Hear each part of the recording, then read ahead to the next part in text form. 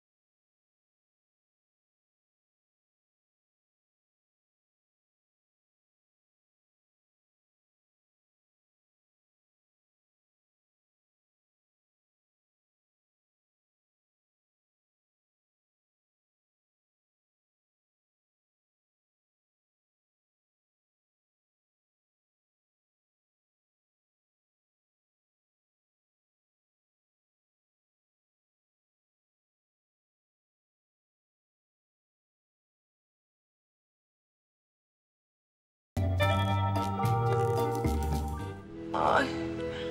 Ay başım.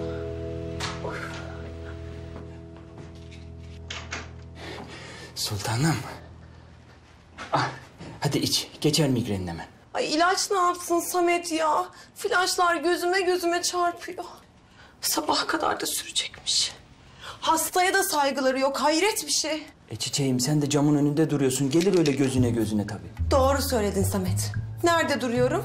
Camın önünde. Ayşe nerede? Havuz başında. Havuz başında. Ve kameranın karşısında. Ya şu boylu, poslu, endamlı kız burada. Şu gudubet orada. E, çiçeğim söyleriz Volkan'a. İşi bitince iki pozla bizi çeker. Yabancı dil çocuk. Ben onun çektiği fotoğrafa mı kaldım Samet? Onu mu diyorum ben? Kim köpek o ya?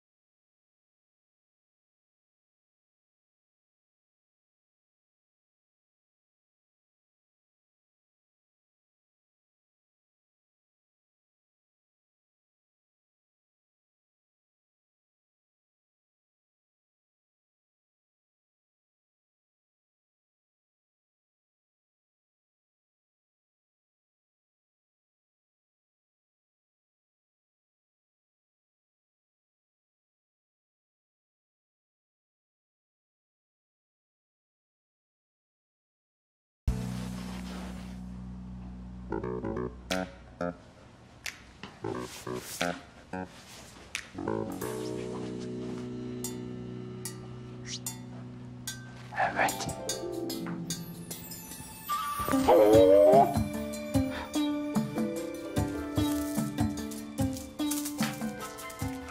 Böyle erkek aksesuarlarını size çok yakıştı.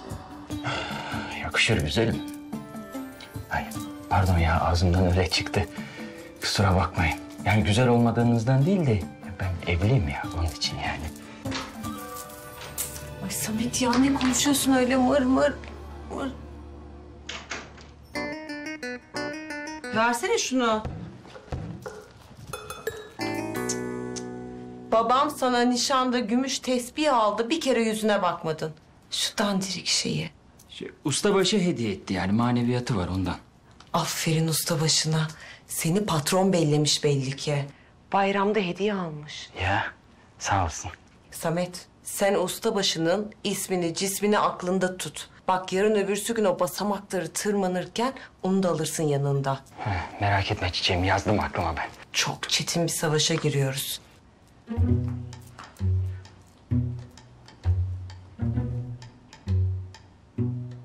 Bunlar da şov yapa dursunlar. Biz iş yapıyoruz. Gönüllerin patronu Samet'im benim ya. Oh.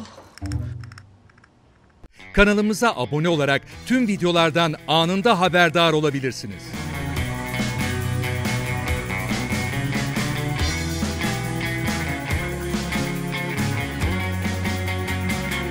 Nereye kadar bu pembe rüyalar